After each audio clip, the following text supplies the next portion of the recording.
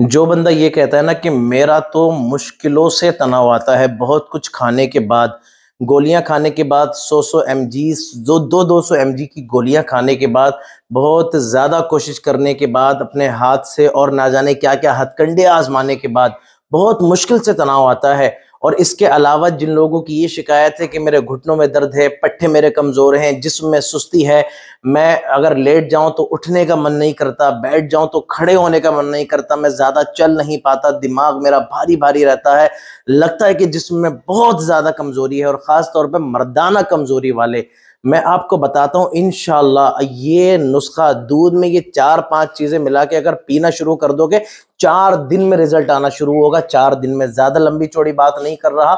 चार दिन में नोट कर लो क्या क्या है। सबसे पहले एक गिलास दूध, फ्राई पैन पे चढ़ाओ, फ्राई पैन पे डालो और उसको चढ़ा दो चूल्हे के ऊपर और उसमें फिर डाल दो आधा चम्मच हल्दी, आधा चम्मच सौंफ, आधा चम्मच दारचीनी का पाउडर डाल दो और दो हरी इलायची। डालने के बाद इसको गर्म करने रख दो। जब ये गर्म होने लगे ना तो अगर जेब के अंदर थोड़ी सी पावर हो, ताकत हो तो फिर दो चुटकी ज़ाफ़रान की इसके अंदर डाल दो।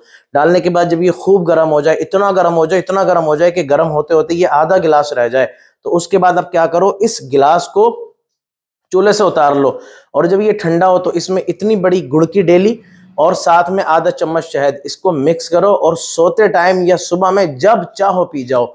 मैं सही बता रहा हूँ कि जो भी जिस्मानी कमज़ोरी है, वो तो खल्लास होगी होगी। और इन लजीज, ये जो तनाव नहीं आने की प्रॉब्लम है टू हंड्रेड परसेंट गारंटी है कि बिना किसी मेहनत के, बिना हाथ से मसले रगड़े तनाव आएगा। और वो भी ज़बरदस्त वाला, मुझे उम्मीद है कि नुस्खा आपको अच्छा लगा है। आप इसे ज़रूर करेंगे। मिलेंगे एक और नई वीडियो के साथ। आज के लिए इतना ही। चलिए, अल्लाह हाफिज़।